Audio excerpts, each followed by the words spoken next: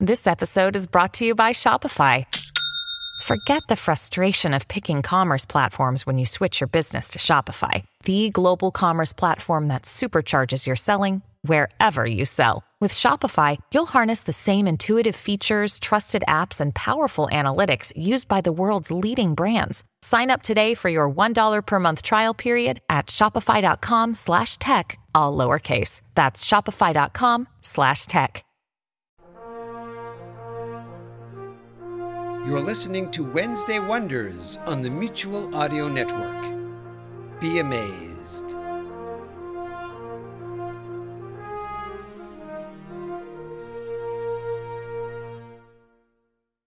The following audio drama is rated G, which means it's perfectly safe for folks and families of all ages. Yes, even grandma. Enjoy. This is a presentation from Dream Realm Enterprises, where dreams are our reality.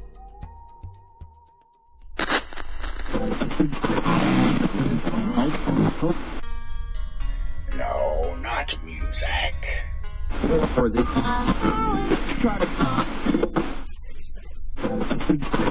And the company conquering heroes have just defeated the mighty mice of Mars in the Street Tattoo Overtime victory. What a finish for the Cosmos Hockey League's 3006 season! And on the next exciting installment of As the Galaxy Drifts. Oh, Rusto 15, won't you please leave Excalibrator 5 and run away to Electroland with me? But I can't run away with you, Jobot. But why? Because Excalibur 5 is having my baby bot. Rubbish.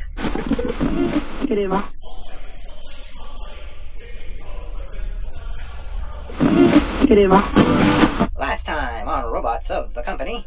Ah, now this is more like it. Lieutenant Potch. Here and ready for duty, Commander Mikado. Uh, that's odd. Did I miss one? I don't recall them picking her up in the last episode, and I had no clue Duke was a she. Oh, I don't believe it. The first order of business is to evaluate the crew. Oh, that'll be easy. I know these guys better than I know myself. I should hope so. It'll make it easier. Uh, pardon me, but make what easier, Commander? Choosing which bots on board the Titan 1 who are useful, and which bots should be melted down for scrap.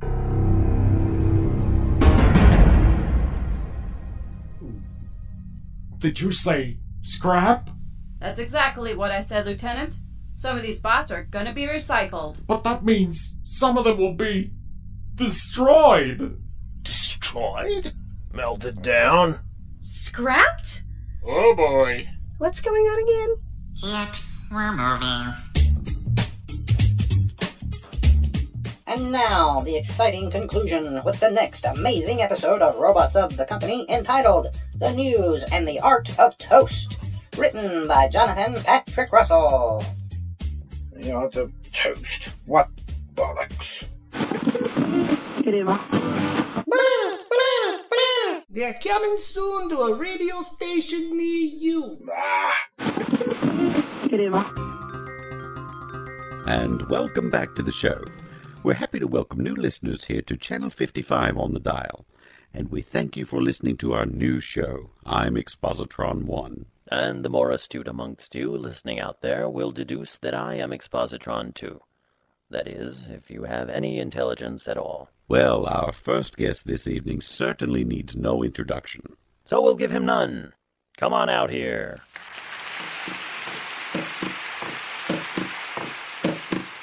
Excuse me, gentlebots, but it is most illogical not to announce me, as I think your listening audience could have forgotten who I am. Somehow, I doubt that, Dr. Speck. Rubbish, rubbish, more rubbish.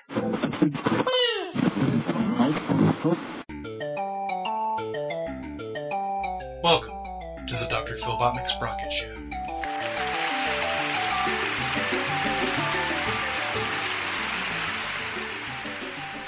Today's topic is robotic marriages gone bad.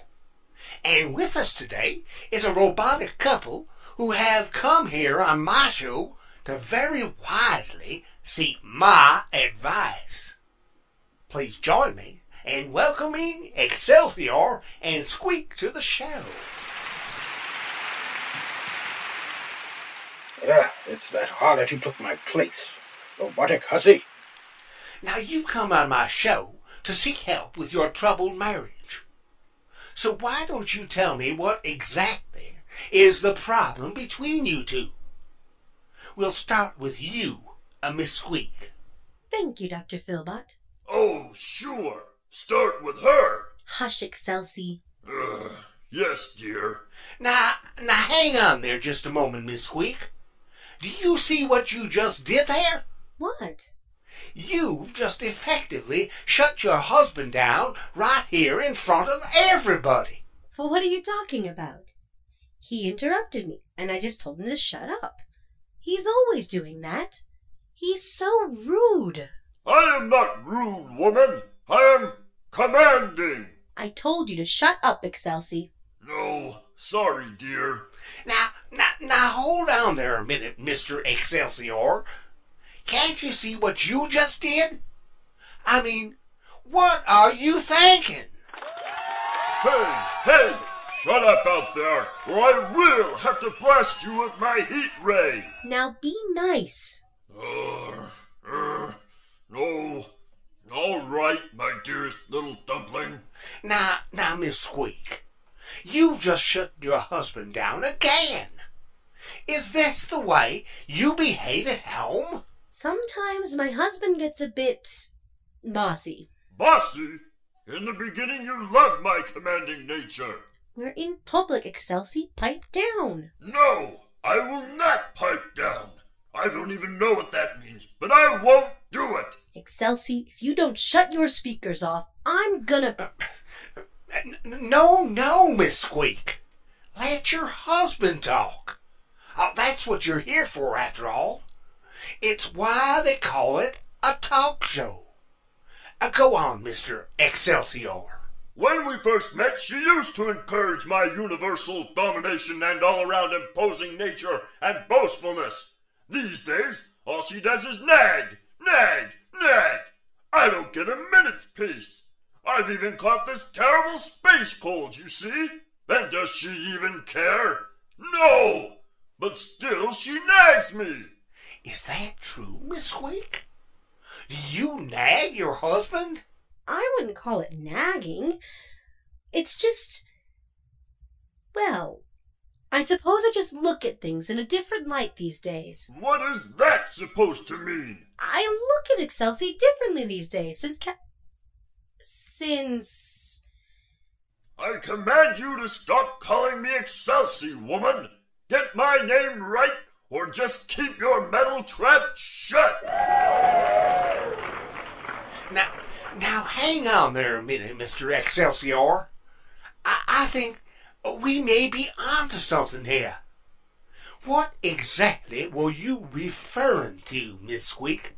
Well, to be honest, Dr. Filbot, things have changed a lot recently on the ship. We've got a new captain now, and. Just hang on one cotton picking minute here. Cotton picking? Are we from the country all of a sudden? Excelsior. Sorry, dearest. I will destroy you, woman. Now, now, you two, calm down. I knew it.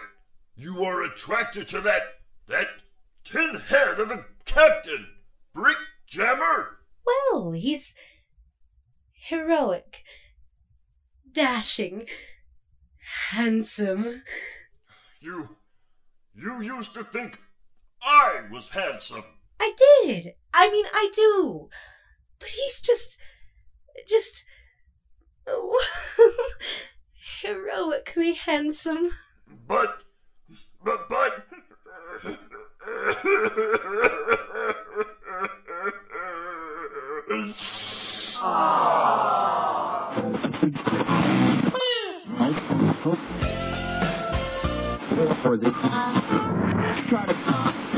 I actually find myself caring about something. Now that is serious.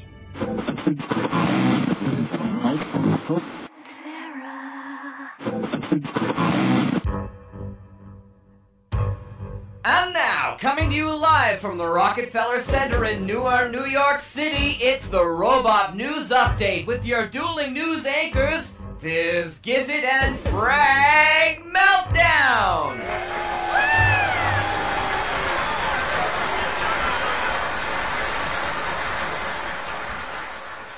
Today in Robot News, bananas! Yes, next week is Intergalactic Banana Week, sponsored by the company. Praise the company. And here to celebrate it is our very own Frag Meltdown with this very special commentary. Frag? Well, Fizz, as you know, next week is all about bananas. Why? Because bananas are good. In fact, bananas are considered sacred on at least 14 different planets, worshipped as gods, if you can believe such nonsense. Hang on there, Frag. We should respect the beliefs of primitives. Well, there are none so primitive as you, Fizz. I have to stop you there, Frag, as we simply don't have time for your nonsense this week. Right now, we're just supposed to act as feeds for this week's installment of the Rob Report. So take it away, Rob, who is coming to us live from the Sierra Desert.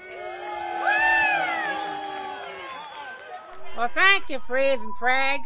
Well, hello, all you robots and robettes.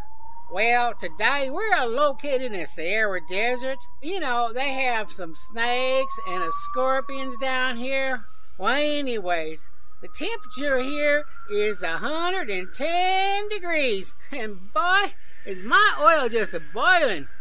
And clear, I mean, I can see sand for miles and miles. Uh, Bert, what is in that box you got in your hand? Bert, why are you opening that box? And, well, Bert, what are you pouring all over the sand? What, Bert, what are you doing? Bert, those are scorpions, Bert. Why are you chasing them towards me? Bert, why are you chasing them towards me? Bert, I'm going to tell you my sister on you. Bert, you stop it. Bert, stop it. B- back to you, Frizz and Freck. Bert! Bert, I can't run in this sand. Why are you so mean to me?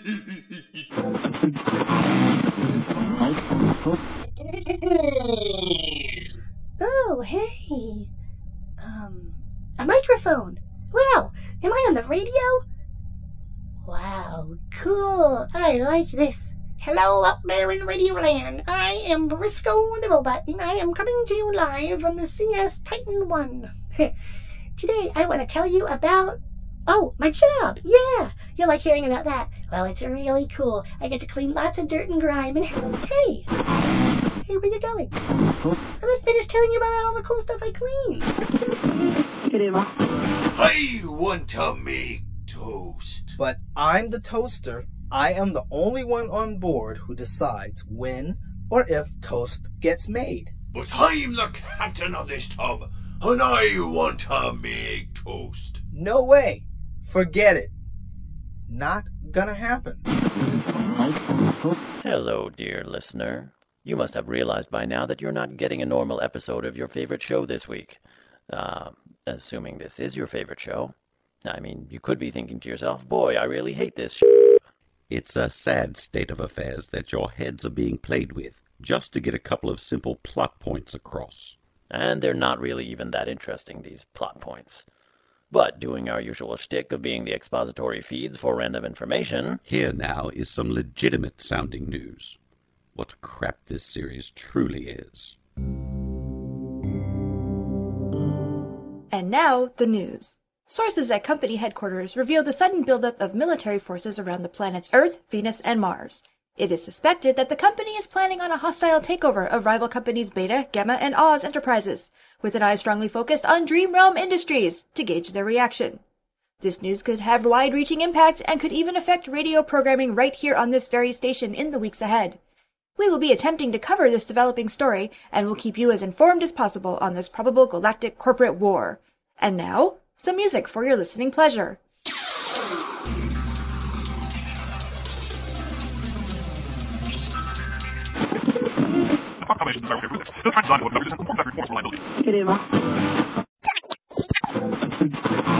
I've been coming to the opening night of Sean's play since he was a little boy in the Christmas pageant.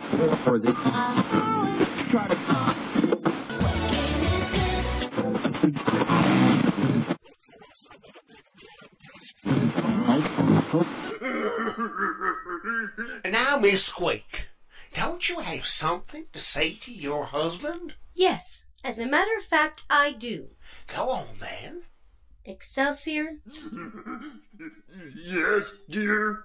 Shut the up!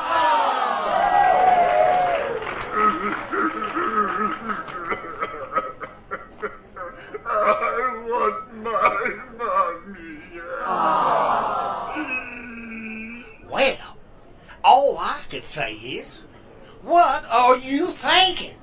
And get real.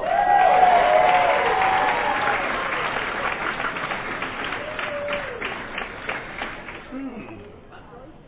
Come to think of it, that's all I ever do say. Ah, rubbish, rubbish, rubbish. You have been listening to Robots of the Company, episode number 305 The News and the Art of Toast, written by Jonathan Patrick Russell, which starred, in order of appearance, Old Squeak, Jonathan Patrick Russell, the sportscaster, Jeff Niles, the soap opera narrator, Steve Anderson, Gilbot, Danny Cutler, Rusto 15, John Morse, introducing Commander Duke Mikado, Michelle Walters, Putch, Joe Thomas, Zimtron, Jeff Niles, GD, Ellie Hirschman, Squeak, Sally Wiggett, Payload, Captain John Tatterzak, Briscoe, Kyle Boers, Campy, John Morse, Zeep, Jonathan Patrick Russell, Quintessential, Kyle Boers, Expositron 1, Jim Barber, Expositron 2, Ellie Hirschman, Dr. Crankshaft Speck, Shane Harris, Announcer Bot 1, J. Thomas Jeans, Dr. Filbot, Jeff Niles, Excelsior, Shane Harris, the Robot News Announcer, Jack Ward, Fizz Gizit and Frag Meltdown, Jonathan Patrick Russell, Rob, Captain John Tatterzak, Captain Brick Jammer, Shane Harris, Popsicle, Daryl Looney, and the news reporter, Danny Cutler. The title music was composed and performed by Daryl Looney. The incidental music was provided by Firstcom. The associate producer was Kay Wu. The sound designer, post-production editor, script editor, executive producer, and director was Jonathan Patrick Russell. Wearing too many hats as usual, the Rob Report was written and produced by Captain John Tatterzak, who retains all rights to the character and concept. The series Robots of the Company was created by Jonathan Patrick Russell, and the copyright is held by Purple Unicorn Productions and its parent company Dream Realm Enterprises. All rights reserved. Any rebroadcast or pre-production of this program without the express written permission of Dream Realm Enterprises is strictly prohibited. We interrupt our regularly scheduled credits to bring you this update. We now come to you from DreamRealmSite.com, so join us there on the web from now on. Also, if you'd like to email us, please do so at darkbuilding1 at yahoo.com. That is all. Now back to your regularly scheduled credits. Take it away, me. We were off our rockers during the making of this audiogram. Join us next time as things get thoroughly weird for the robots of the company in an episode hilariously entitled Bananas. This is the Creditor, as always, begging you to stay tuned. This has been Quintessential. Join us here next week for Bananas!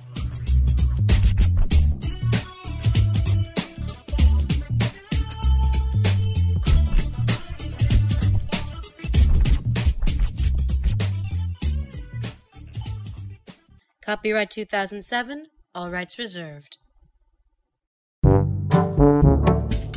Hey, Billy, why do you look so down? Aw, Dad, I got a computer, a PlayStation, and a barn full of iguanas, and I'm still bored. Gee, Billy, when I was your age, I would read lots of stories in pulp magazines. Oh, with stories of weird adventure and fantasy, horror, satire, and lots of action. Wow, that sounds great, Dad. Yeah, I sure wish there was something like that right now. there is, Daddy Ho! Who are you? I'm Dr. Mary Von Rocksprocket, host of the Twisted Pulp Radio Hour, and now there's. Yeah? Twisted Pulp Magazine! What's that, Doctor? Why, it is a return to greatness! Available on all your digital devices! That is what it is! Look! Whoa! Dad, this looks awesome!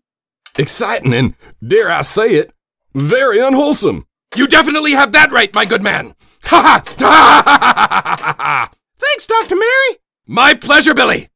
And just between you and me, I am not sure that this man is really your father. Bye!